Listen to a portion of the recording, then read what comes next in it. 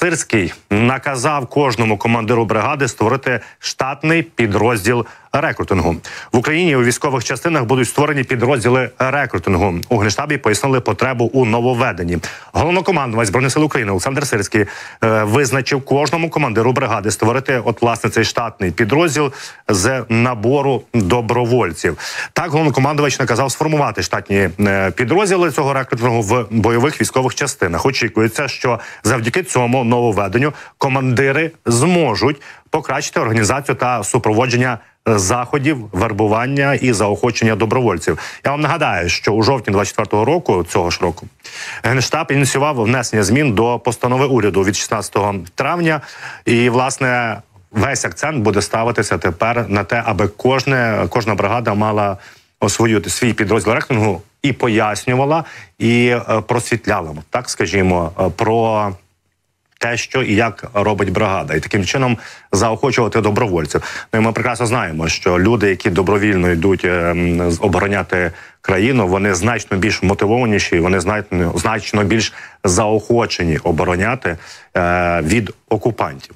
Щодо території Російської Федерації, то воєнна розвідка атакувала нафтобазу в Калузькій області Російської Федерації. В результаті операції головного управління розвідки Міністерства оборони цієї ночі було уражено об'єкт паливно-енергетичного комплексу в Калузькій області.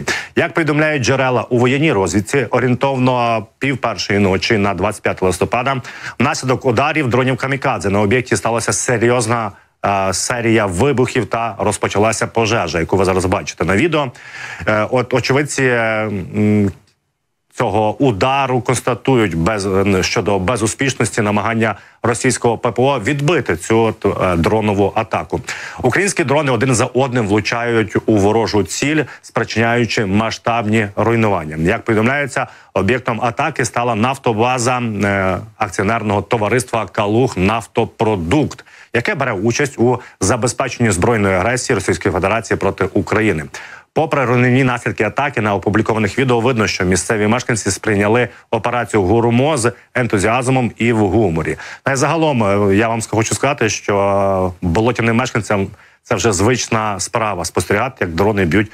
По критичній інфраструктурі, ну е, що ми можемо підсумувати? Що справді ми бачимо так, влучання дуже хороші. Шкода, що це не нафтопереробний завод, лише нафтобаза, але це теж масна ціль. Ну і за візуальним оглядом, і те, як виглядає цей удар, все ж таки попали в резервуари. Як я вам казав в попередній годині, я дуже сподіваюся, що е, оця от Калузька область і нафтобаза, вона вправно візьме естафету від Ростовської області. Нагадаю вам там 16 діб.